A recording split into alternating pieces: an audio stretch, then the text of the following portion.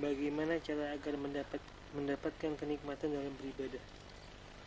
Ya, kenikmatan dalam ibadah itu ya adalah suatu tujuan daripada orang soleh, daripada orang dekat pada Allah Taala, daripada para ulama, daripada orang yang tahu ya hakikatnya kenikmatan dalam beribadah itu gitu. Oleh karenanya kan yang paling penting itu bagi kita itu adalah adanya orientasi dan kemauan. Orientasi kehidupan kita apa, orientasi ibadah kita apa, orientasi e, tindakan kita yang begini begitu itu apa gitu. Nah, lalu kemudian harus ada kemauan kita untuk untuk membesarkan himmah, kemauan yang besar untuk kita mendapatkannya gitu.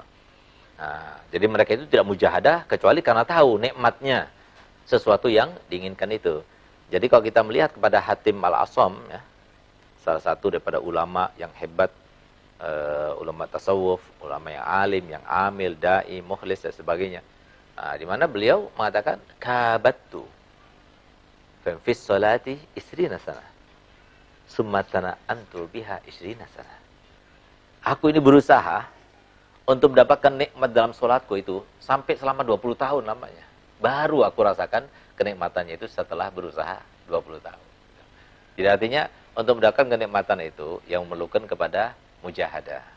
Artinya mujahadah seperti yang saya katakan tadi, usaha dan upaya dengan dasar kesabaran.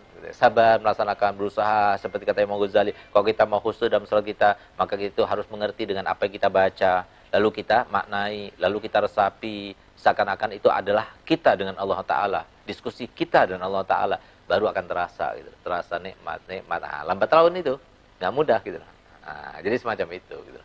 Nah, oleh karenanya jadi kalau kita mau merasakan kenikmatan dalam beribadah maka kita harus tahu dulu seluk beluk ibadah itu untuk apa tujuannya misinya dan sebagainya lalu gunanya apa kalau kita itu mendapatkan e, kalau melaksanakan ibadah itu nanti baru akan tampak kenikmatan dan satu lagi teori yang harus kita laksanakan dan terapkan apa itu istiqomah. Ibadah itu bisa dirasakan nikmatnya itu kalau kita istiqomah ya, insyaallah.